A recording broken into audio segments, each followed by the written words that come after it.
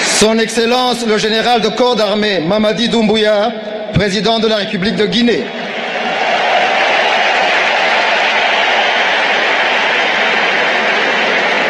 His Excellency Hassan Sheikh Mohamud, President of the Federal Republic of Somalia.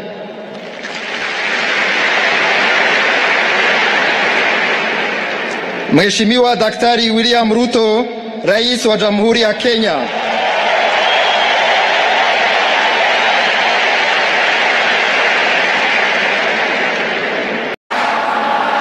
Your Excellency will now receive His Excellency Salva Kiir Mayardit, President of the Republic of South Sudan and Chairperson of the East African Community.